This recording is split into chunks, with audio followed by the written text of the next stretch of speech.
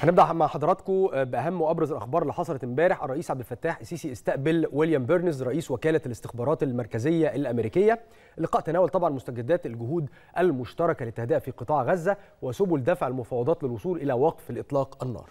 كمان امبارح الدكتور مصطفى مدبولي رئيس مجلس الوزراء شهد بمقر مكتبة الإسكندرية فعاليات احتفالية يوم المدن العالمي اللي بتقام بمدينة الإسكندرية ضمن استعدادات مصر لاستضافة المنتدى الحضري العالمي في دورته الثانية عشر بمدينة القاهرة.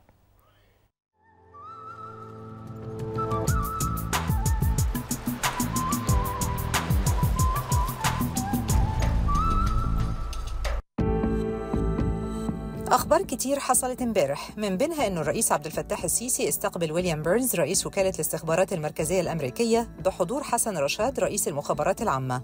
تناول اللقاء مستجدات الجهود المشتركة للتهدئة في قطاع غزة وسبل دفع المفاوضات قدما للوصول لوقف إطلاق النار وتبادل المحتجزين والنفاذ الفوري والكامل للمساعدات الإنسانية باعتباره أولوية قصوى لمصر في ضوء تدهور الأوضاع الإنسانية بالقطاع. وشدد الرئيس في هذا السياق على أهمية الدور المحوري اللي بتقوم به وكالة الأونروا وضرورة عدم إعاقة عملها. كما تم تأكيد أهمية تطبيق حل الدولتين ليكونوا مسار تحقيق السلام والأمن في المنطقة. وصرح المتحدث الرسمي باسم رئاسة الجمهورية أن اللقاء شهد أيضا التطرق للأوضاع في لبنان والتصعيدات المتبادلة اللي شهدتها المنطقة مؤخرا. وأكد الرئيس أهمية التوصل بشكل عاجل لوقف إطلاق النار في لبنان بما يحفظ سيادته وسلامة أراضيه ويحمي استقراره وأمن شعبه الشقيق كما حذر من خطورة استمرار التصعيد على المستوى الإقليمي بما له من تداعيات جسيمة على شعوب المنطقة.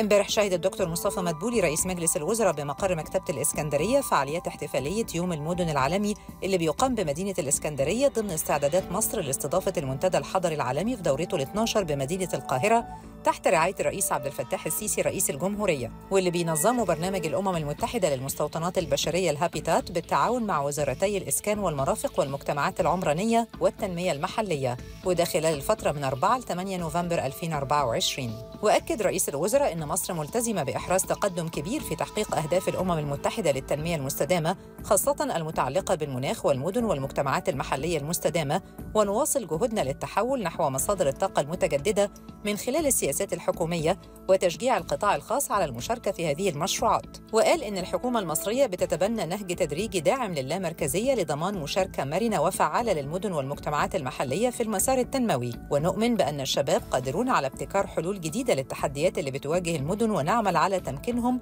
من لعب دور فعال. كما دعا الحضور للقاء مجددا في المنتدى الحضري العالمي بالقاهرة الأسبوع المقبل تحت شعار الكل يبدأ محليا من أجل مدن ومجتمعات مستدامة.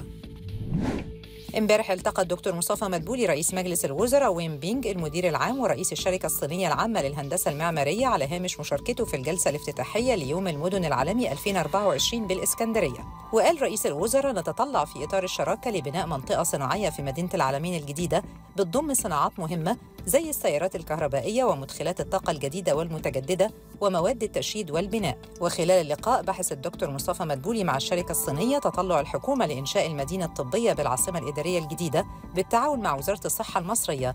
مؤكدا أن التعاون في إطار هذا المشروع الهام يمكن أن يتم من خلال الشراكة بين الجانبين والمشروع بينطبق عليه معايير مبادرة الرئيس الصيني للتنمية في الدول الإفريقية. واللي أعلن عنها خلال منتدى التعاون الصيني الإفريقي مؤخرا ضمن مبادرة الحزام والطريق. امبارح وفي بداية جولته بمحافظة الإسكندرية شهد الدكتور مصطفى مدبولي رئيس مجلس الوزراء اصطفاف معدات المحافظة لمجابهة الأزمات والكوارث بمقر ديوان عام محافظة الإسكندرية وشدد على ضرورة اتخاذ مختلف التدابير اللازمة لضمان جاهزية المحافظة للتعامل مع أي أحداث أو أزمات طارئة تخص الأمطار.